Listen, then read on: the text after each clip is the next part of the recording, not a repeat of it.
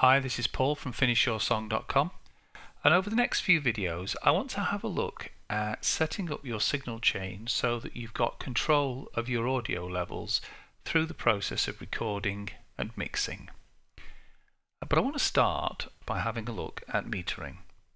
There are certain things in recording that we tend to take for granted and meters are one of them and in this video I'm going to share something with you that I wish someone had shared with me when I moved from analog to digital recording.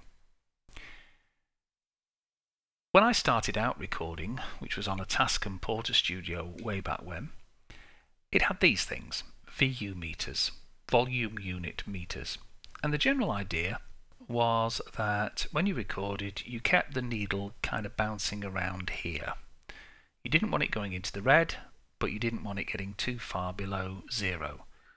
Um, there was the dreaded tape noise issue, and that applied when I moved from 4 track to 8 track. We were still using tape, we were still trying to keep our signal to noise ratio out of tape hiss range. So when I moved over to digital recording, naturally I assumed that zero there was the same as zero here. Wrong. Wrong in a big way. Um, and as a result, some of the stuff I recorded early on was very distorted because it clipped. Whereas with my old tape machine, when you went past zero, you started to get into tape saturation and you got some nice analog warmth. Once you go past zero over here, it clips and it clips badly you get digital distortion, which is just plain nasty. Nothing nice and warm about it at all. So, where is the correlation? Where should we be aiming for? What does 0 over here equate to over here?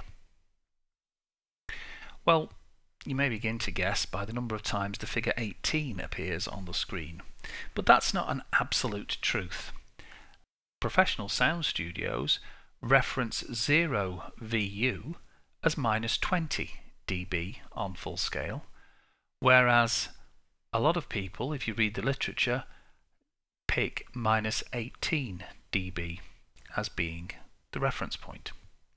And indeed, this is the Klanghelm VU meter, and although you can set the reference level for 0 in dB just by adjusting here, I can go 20, I can go anywhere I like. I can go up to 1, should I be foolish enough to do so.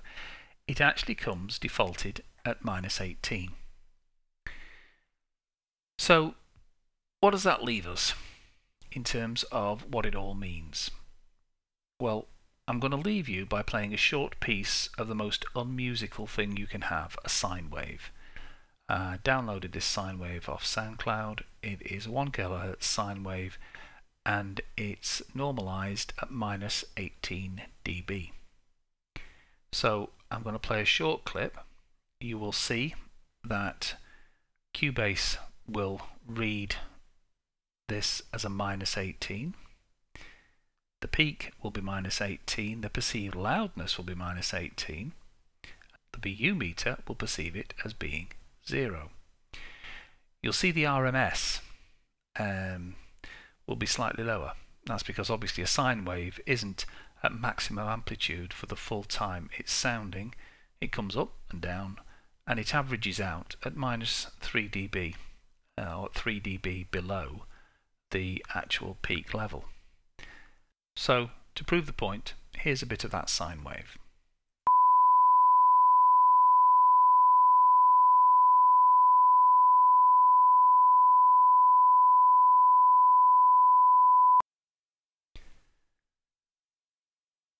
So what we can say is that the levels that we used to look at in terms of naught on our VU meter are not the same as naught on our dB full scale meters, but in fact are somewhat lower.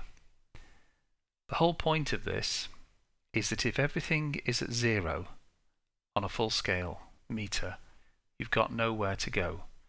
As you start to add tracks to your mix, the level is going to increase and so you're going to have to start pulling these faders down.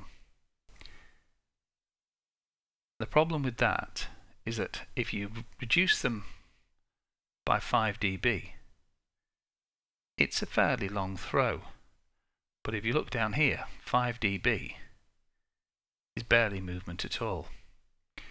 So what we want is to have the best control we can have over our faders and if everything's slamming from the start we're going to end up with all our faders down here whereas what we want is to be able to start so to reduce them to have better control up here.